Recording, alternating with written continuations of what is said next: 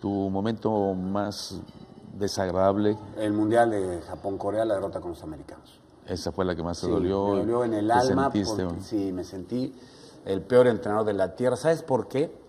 Porque yo entrené, llego, llego a, fíjate cómo es la vida, llego a la eliminatoria mundialista y veo que el equipo está cómodo con, con la línea de 5. Yo no la había, no, no jugaba con línea de 5. Y esto, y está cómodo y tal, y la dejo, y la dejo y entreno en línea de 5 y ganamos la eliminatoria, Copa, eh, Copa América, eh, esto, y vamos al Mundial, línea de 5, le ganamos a, a- a Croacia, le ganamos a Ecuador, y con Italia 1-1, 7 puntos, bueno, y primer lugar, nos tocan los americanos, no, ya le ganamos a los gringos, ya le ganamos a la Azteca, vamos a... bla, bla, bla. Juego con línea de 5 y me hacen gol pronto, mueven rápido el balón, no sé qué, gol, puta madre, y me equivoco, y hago línea de 4, y meto un atacante más, y no lo había entrenado y ahí me- se me fue, eh, ya no jugamos bien, eh, a empujones, hay una mano que salta, Borghetti, el central, mete la mano, el portugués hace así y dice, juegue. bueno, pues ni modo, no había bar. Y al final me hacen, expulsan a Rafa Márquez en medio campo, no me acuerdo qué hace, y gol 2-0. Entonces dentro del vestidor, destrozado, derrotadísimo, y yo presentí algo malo. Y le llamé a mi mujer, estaba con mis hijos, lloraba y se acabó, le digo, se acabó, se acabó. Hasta hoy me acuerdo.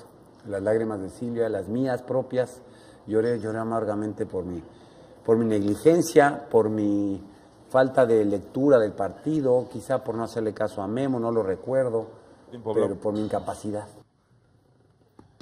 Las dos etapas de Javier Aguirre al frente de la selección mexicana de fútbol. La primera, 19 victorias, efectividad del 69%. La segunda, 17 victorias, efectividad del 68%. En la primera alcanzó los octavos en Sudáfrica, cayó contra Argentina. La anterior, o mejor dicho, la, primera, en la anterior, en 2002, perdió en octavos contra Estados Unidos con aquellos cambios que nadie nadie entendió en ese sentido cuando saca Ramoncito Morales. Revisemos las peores eliminaciones entonces de la selección mexicana contra Alemania en el 86, allá en Monterrey, contra Bulgaria en el 94, los penales en Nueva York, Alemania 98, ¡ay! la que tuvo Raúl Rodrigo Lara y nada más era y otra que tuvo Luis Hernández contra Estados Unidos en 2002, ni las manos se metió y menos con los cambios. En Argentina en 2006, golazo de Maxi, golazo de Maxi. En Argentina en 2010, ah, el árbitro, ¿eh? pero está bien, perdimos bien contra los argentinos, ni modo. Países Bajos, él no era penal, que sí lo era de Rafa, entre otras cosas. Y en Brasil 2018, en donde o mejor dicho, en Rusia 2018 contra Brasil, tampoco las manos las metimos. manos. Las peores eliminaciones, apelo al dolor de lo que han vivido, Ah, al dolor. no Al dolor. No, no al juego. al dolor. Ah, al dolor. Al dolor. Ok, Ok, ¿cuál te- y después apelamos al juego, ¿te parece? como tú digas. Ok, Chelis, voy contigo. Al dolor, apelando al dolor. Al dolor. A tu dolor. A mi dolor, el de Estados Unidos. Ok, ok, No soporto perder en el fútbol contra Estados Unidos. ok. La segunda, Al, al juego, al juego. al- eh, lo de, lo de- la- eh, es- este último mundial, lo que hacen en Alemania y lo que dejan de hacer después. Ok, eh, esa es la peor. Qué, qué cosa tan, tan, tan, tan patética. Ok, ok. La tercera, Lo de los últimos 15 minutos en Brasil. contra Países Bajos. Eh, Ok, ok. Entiendo que te duele la de Estados Unidos, porque es el, es el vecino incómodo, es nuestro rival del área, eso lo entiendo. Pero ni las manos metimos, Chelis. Ni las manos metimos ahí. Tiene razón, hay una diferencia entre el juego. De las que estuvimos cerca, contra Holanda estuvimos cerca, contra Países Bajos estuvimos cerca. Contra Bulgaria nos fuimos hasta penales. A Alemania 98, los tuvimos en un puño, estaban comiendo de nuestra mano. 2006, Álvaro. 2006. Eso- eso sí, fue- también les dimos partido. Eso, eso fue tiempos extra. En el, en el 98, acuérdate que La- Lara tuvo que jugar central. Pues es lo que y a partir diciendo. de que juega central, adiós. cabrón. No, y Oli- lo Oliver metió de cambio. ¡Pum! Lo metió de cambio. A ver, a ver, Rafa Puente, apelo a tu dolor, a tu dolor. ¿Cuáles te han dolido más? Mira, el que te duela pues, la de Estados Unidos. Ok. Porque siempre lo ves como un rival inferior. Sí. Y le ganó bien. ¿eh? ¿Qué le pasó al Vasco con los cambios? No, le ganó bien. Estados Unidos hizo un muy buen mundial. Ajá.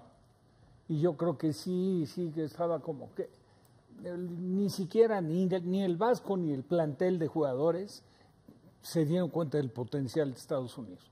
Que luego las cosas cambiaron por un cambio y que se descompuso el equipo y terminó dando lástima. Hay que recordar aquella patada de Márquez a Sí, Kobe sí, sí, Jones. sí. Ah, caramba. Yo no me acordaba de eso. Sí. Le dio, le dio arriba, le dio abajo, va No, con el no, no, bueno. Ya frustrado, Rafa. No, pero muy frustrado. perdido sí, o sea, a, a Kobe lo revisan y todavía Sí. traerá la marca aquí del tachón de Rafa. Segunda. En la que más cerca para mi gusto estuvo fue, yo creo que en la de Bulgaria. Esa fue la que a mí más me ha dolido, que contra Bulgaria. Contra Bulgaria. Que ahí Mejía Barón se guarda los cambios para la serie de disparos desde el manchón penal.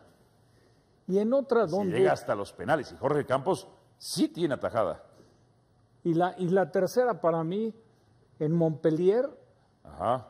contra Alemania, que se había puesto adelante México, empata Jürgen Klinsmann, antes le había sacado una pelota al lado izquierdo a Tarnat, un volante zurdo que le pegaba fuertísimo, Jorge Campos hace una tajada fantástica, arrancando el segundo tiempo, Luis Hernández se pierde un gol hecho, Sí, increíble. y luego viene el ajuste para defender y ponen a marcar a Juntelar a, a- a Lara, sin que sea defensa central, y lo sorprende con un cabezazo y no siendo superior a Alemania, deja fuera a México. Así es.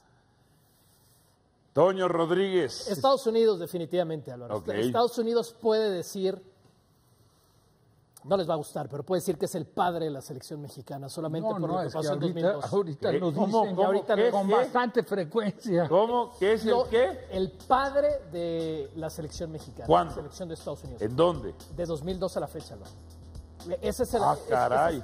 ese- es el partido Me- más me- importante. ¿Me explicas? Ese- sí, claro, voy. ¿Me explicas cómo es que la el medida. padre de la selección mexicana del 2002 a la fecha no es, fue a Rusia eh, 2018? es que todo cambió, todo cambió ese día, Álvaro. Todo cambió y ve cómo estamos.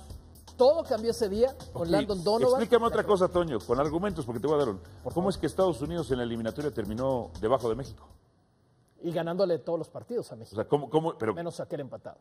cómo- no cómo- importa, Álvaro. cómo- Es- no, no, no, no. es un duelo directo. Si es el padre, debió terminar primer lugar, segundo lugar. Terminó bajo de México, ¿eh? y, le, y le ganó dos terminó finales. bajo de México. Y le ganó dos finales. Dos finales de. La Nations ¿De la League y la League? Copa Oro. Ah, No cuenta. ah, Le tiene ok, está bien, tomada la medida. Y está bien. y- y le ganaron a México Ajá. 2 a 0 en la eliminatoria también. Estados ¿Y en Unidos Azteca ganó? desde el más empataron Ah, ese partido. nada más, desde el voy a- 2002. voy a hacerlo, te voy a- Estados te voy a Unidos ayudar, lo voy a padre de la selección lo voy a mexicana. conducir. Pero, te- pero te voy a terminar Estados. Unidos en casa es sumamente fuerte de visitantes. Son muy cobardes y no solamente son muy cobardes, son muy malos. El peor visitante de las eliminatorias, Estados Unidos. El padre de México, como dices tú, Sí. terminó abajo en la eliminatoria. Álvaro, no han jugado Tercer un lugar. partido, estamos con los mundiales, no han jugado un partido más importante estas dos selecciones, entre ellas, que ese. ese, ok, ese dolió Y lo ganó Estados Unidos, y lo ganó 2 a 0. Y lo ganó Ganó con el mejor jugador de su historia, muy bien, Landon Donovan. Y lo ganó con Bruce Arena, que yo creo que la risa de Bruce Arena a todos los mexicanos, ¡ay! Nos da algo en el alma esa risa de Bruce Arena. Y lo ganó muy bien y superó a México en su juego. Segundo. 2006, México estaba ahí. México estaba ahí teniendo a Argentina, México lo tenía. Y si no es por ese golazo, México estaba en la siguiente fase. Se adelanta en el marcador con gol de Rafa Márquez. Sí, caray. Era una super selección. Es- esa selección, Eh, yo creo que podemos ¿Qué? que esa era la selección que mejor jugaba. decir, Menos en el Mundial. en la, en la Confederaciones fue la selección que mejor ha jugado al fútbol, en mi opinión, esa de Alemania, de Ricardo Lavolpe. Ahora, el Mundial juega muy buen partido estratégicamente contra Argentina, pues lo contrarrestó muy bien. El parado del equipo que puso ese día, Ricardo, que me acuerdo que puso, este jugaba Méndez, de- y luego puso a Castro por ese lado derecho para evitar la llegada de Sorín del argentino, que era un jugador muy importante en el funcionamiento de Argentina. Que iba zurdo por Y, y lo tenía maniatado sin que realmente fuera un dominio del equipo mexicano. O sea, el partido estaba para cualquiera. Claro, claro. Y tenía lo que ser un sacaron, gol de eso. Y lo sacaron con el golazo. Tenía, tenía que ser un gol de eso. Por, por eso duele, Álvaro. Tercero. Estaba ahí. Yo también me voy con Argentina en el 2010. Un rival que ya te había ganado, que te vuelva a ganar. El, el error de Osorio, de Ricardo Osorio. Ah, perdió la pelota, claro. acuerdas? Perdió la pelota. Y, y que te vuelva a ganar Argentina, ese dolió mucho. Bueno, a ver, entonces, una contra Estados Unidos y dos contra Argentina. En mi dolor, para mí lo que las peores son las que estuviste más cerca, porque no te ni metiste las manos, o sea. La de Bulgaria 94, tenía yo 14 años en el verano, viendo con mis amigos Los, partido. el- los no cambios, ¿no? Los no cambios. Bueno, echa- echan a, a Kiriakov, Sí. un rubio lateral, y echan a Luis García. Y viene el, el día del, del tema este tan, tan comentado, de que si el cambio, si quiso entrar o no Hugo, o de que si quiso o no meterlo Miguel, ¿no? Mejía Barón. A la tumba se lo van a llevar. Para mí, otra que estuvimos cerca, gran partido de Giovanni Dos Santos, contra los Países Bajos. Ese estuvimos cerca también. Y ahí de manera... Hay muchos que acusan en el planteamiento del- de la recta final del segundo tiempo a Miguel Herrera. No, pero no al final. Bueno, segundo- Ahora de los cambios. No, de- ¿cómo, cómo saca Claro. a Giovanni? Que aparte del gol, era el que los tenía preocupados. Sí. Nada más salió Giovanni, el partido le cambió a Holanda. está bien. Y, y No entonces le Ja- Javier. Aquino, quiero decir. Entró Aquino. Aquí- Sí. Pero aquí no, era para contragolpear. No, pero aquí no lo metió para defender. Y la verdad, en- aquel cobro de tiro de esquina, el rebote, que le- que- ¿quién es este?